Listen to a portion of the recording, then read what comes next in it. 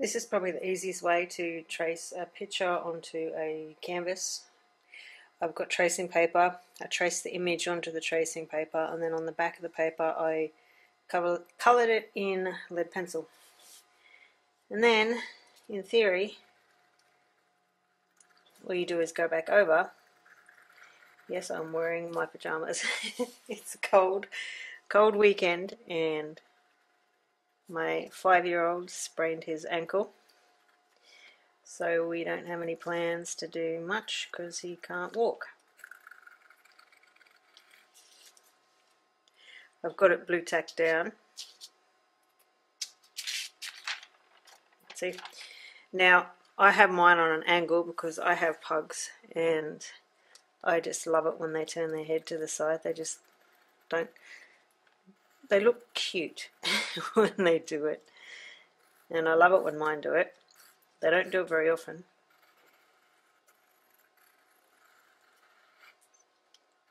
So you can have yours straight if you want, but I wanted mine on an angle.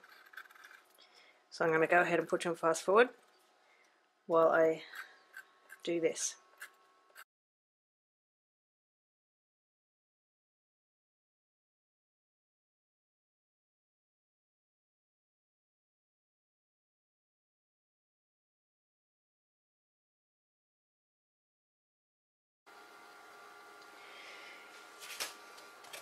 Have some burnt sienna and some glazing liquid. And I'm just going to do the outline of him. Just mainly in the burnt sienna for now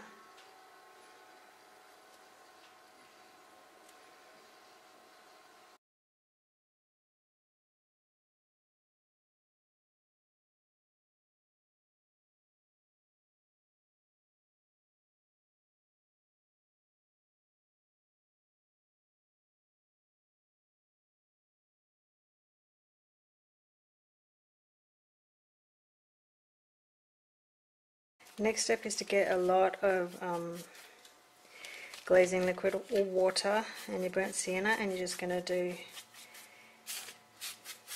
this coverage. This seals in the painting, the, the lines there. I'm just showing you a way just to keep your lines intact if you're not confident about doing it.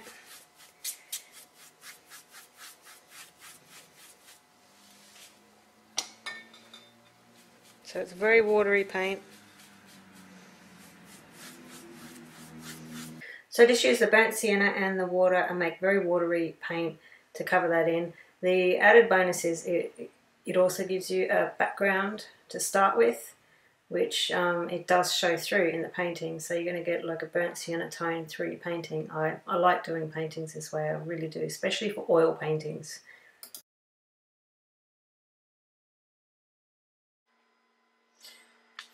Okay, to begin with, I've got some yellow ochre and some, what did I use? That's raw umber. And then I mixed it together to make, just checking that you can see. I mixed it together to make this mustard baby poop colour. and that's the colour that I'll be using for now, just for the base. And I, am using a filbert, but you use whatever you want to use.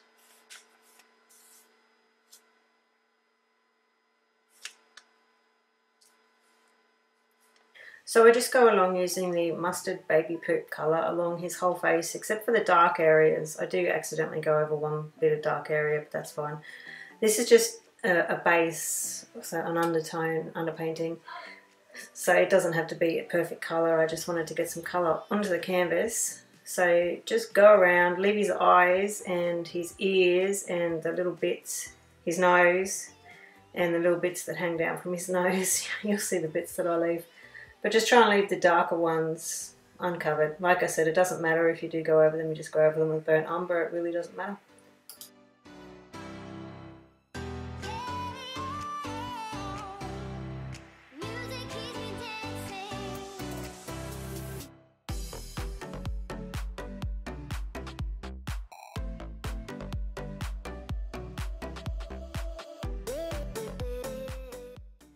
Okay, using burnt umber and a smaller paintbrush, I start in on the darker areas, like his ears, uh, the little droopy bits around his nose and under his nose. Now, I don't do his, I don't do the darkest areas for that. I'm going to save for black because, yeah, I, I want a darker tone than this, burnt umber. So, go over the ears, go around the eyes, all these jowl thingies, whatever they are. They're not jowls, I don't know. the nose, the, it's a part of the nose, the shadow on the nose. Go, so go over that, but leave the nostrils and leave the uh, pupils of the eye.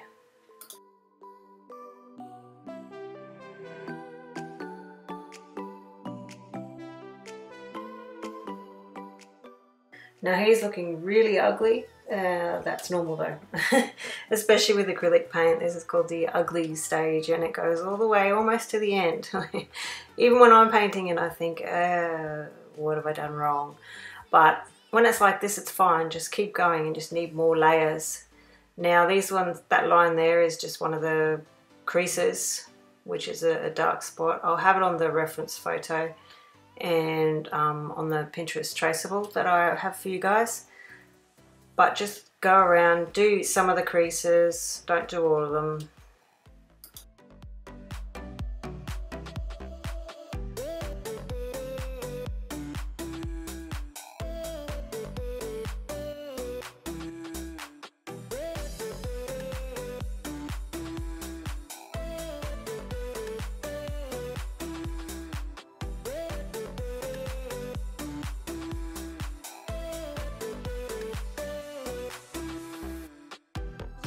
Now I'm just going to use some yellow ochre. Yellow ochre.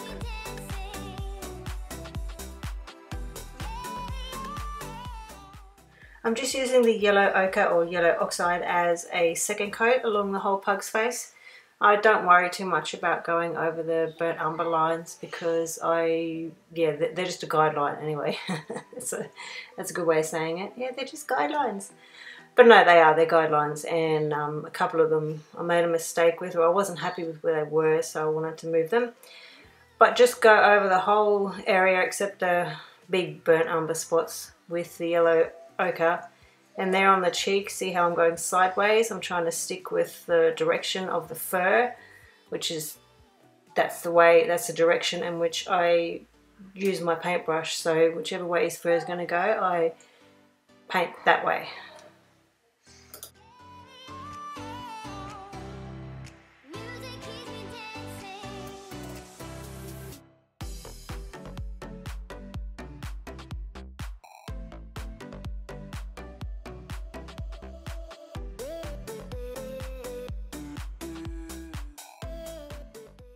And the next part, I just grab burnt umber and I go over the bits that I wanted to keep there and I were just easier to go over with the yellow ochre. And that eyebrow there, I, or not eyebrow, but crease, I wanted a little higher. And I also made a mistake with his nose there. Well, not a mistake, but I just wasn't happy with the way that it looked, so I changed it.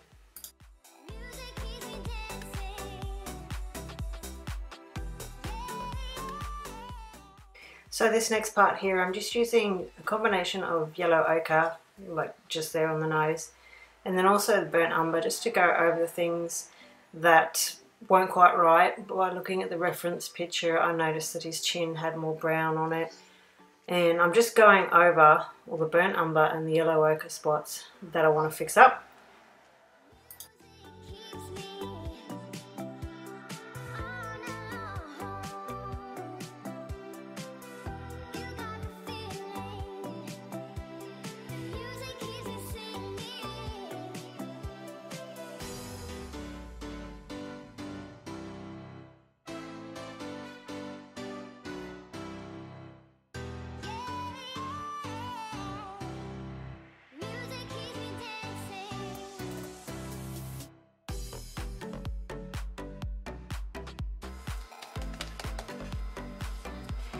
Now here I have some raw umber and some white and I just want to mix them to make a lighter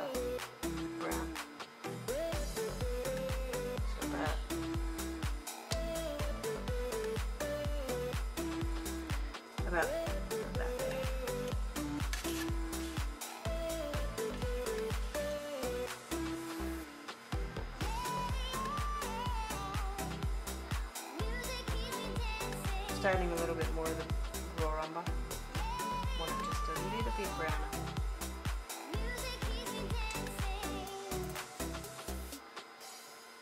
Now what I'm actually doing with this uh, colour mixture is colouring or putting a base tone down for the shadows that's on the pug's face.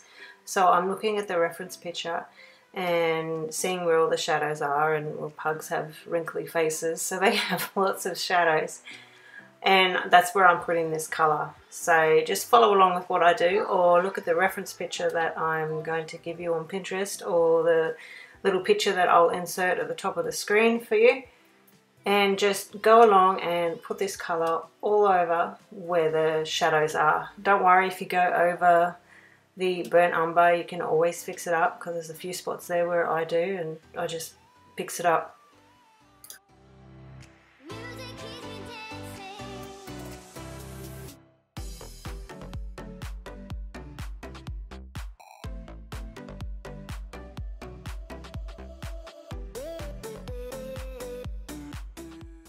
Now believe me when I say it is a well-known fact that acrylic paintings and oil paintings too really do have a really ugly stage where you just don't know if you're doing right or wrong. So I'm still, I'm learning to paint. I'm still, I'm nowhere near any of the other um, artists they have on YouTube and, and I just thought that I would share what I do and my process with everyone else and the mistakes I make and how I fix them and how I go about changing things.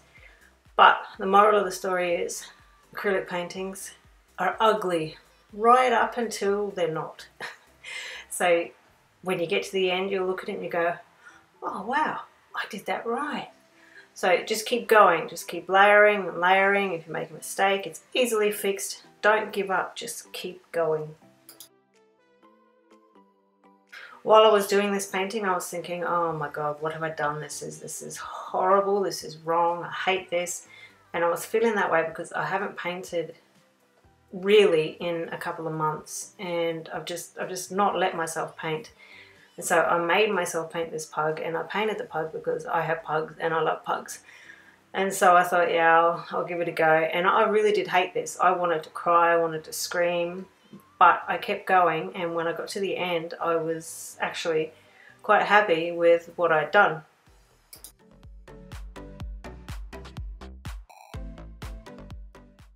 When you are completely happy that you've covered up all the shadows, um, right, what I'm doing here is blending that little bit in because it was a little bit too dark and I just wasn't happy with that. But yeah, like I was saying, when you are happy with the shadows that you've put in, it's it's the base, it's, it's not the end, don't, don't panic. Go over with your burnt umber, any lines that you lost, and we will start adding in some of the creases at the top of his head because pugs have creases at the top of their head. They do, they have these little wrinkles in their skin. My, my girl pug, she has massive creases, skin folds. So cute. So like I said, we're just filling in the top here, the creases on the top of the head with burnt umber. Uh, just look at the reference picture or follow along with what I do.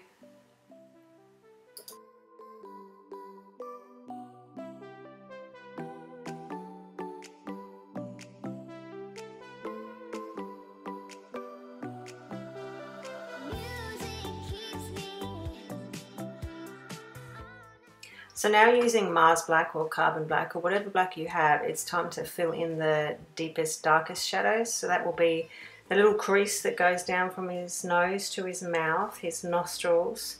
Uh, I like to do the edging around the nose in black. And also his mouth has a little opening where it's black inside. So I do that with black as well. And then I just go through looking at the reference picture, looking for all the spots that are the darkest shadow. If you have trouble finding the darkest spots, um, do the reference picture and change it to black and white. And when you do that, you'll see the blacks and the whites and all the greys. And the bits that you want to do in black are obviously the black bits and bits that you want highlighted or extra extra oomph added to it.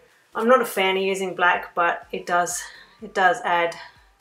Now up here, this is where the ear folds over. So there's going to be a dark shadow there and the ear that's on the bottom part is going to be darker as well. So now to blend in those uh, harsh black lines that we just did, grab some burnt umber, or get some burnt umber, please. And while the black paint is wet, blend it into the bottom half of that ear to make the, the burnt umber and the black blend and make it a smoother thing, smoother blend. Here I just add some more black paint because my black paint was already dry. And then I get the burnt umber and go over the top bottom the bottom half of the black line that I just did and also the rest of his ear just to get another coat in there on the burnt umber and that is how you blend the ears and make the bottom ear darker and this whole time I didn't wash my brush so it had black and burnt umber mixed in with it and it just makes the blend more cohesive I guess you could say.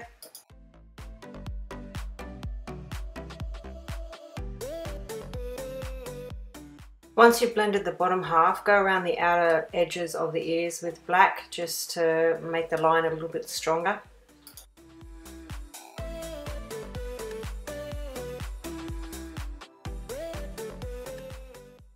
Now the next step to make the top part of the ear look lighter and, and overhanging is to get a combination of burnt umber and titanium white. More burnt umber than titanium white because you still want it brown.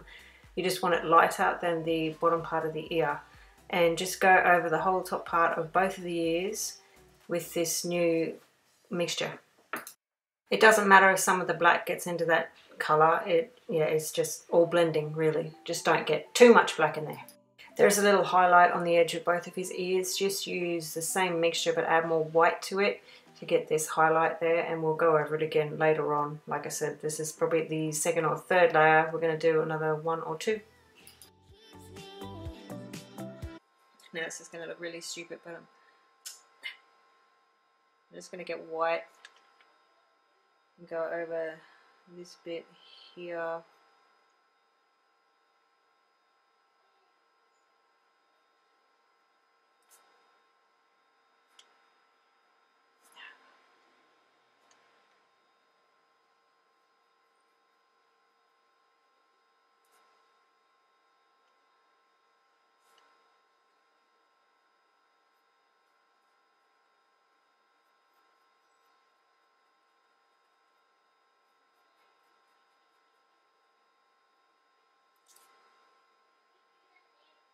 Now using yellow ochre and white, start on the edge of his face to do the highlights.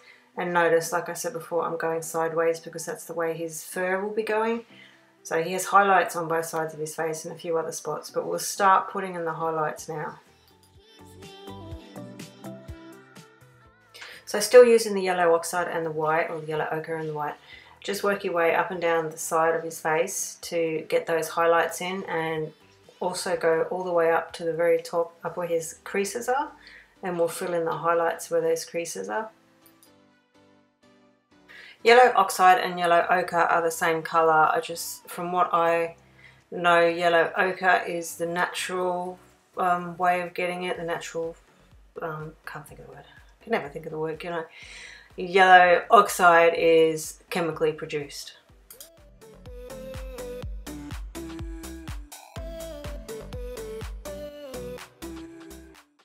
Now just keep going around his whole face basically except for the bits that you have the dark spots in. I do go over them a little bit because I'm wanting to blend them in.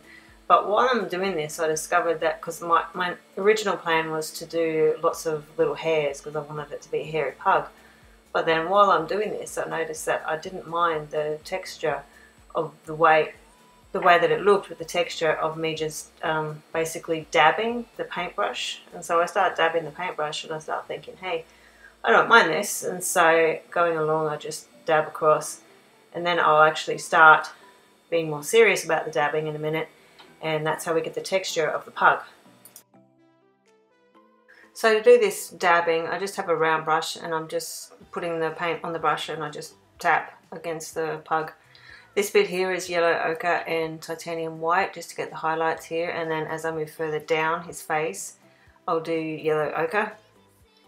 So see how I'm just dabbing and I'm going over the um, dark, the shadows because I want to come back with burnt umber and blend them in with the dabbing technique.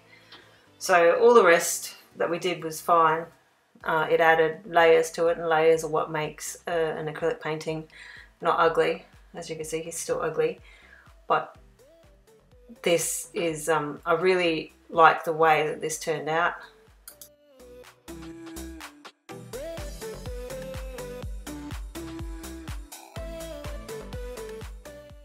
Right here I'm using burnt umber and just dabbing across in the line and then I will get yellow ochre again and mix it in and that's how I end up doing all of the shadows. It's just building up the layers and making them dark but also blending it in with the yellow ochre so it looks natural.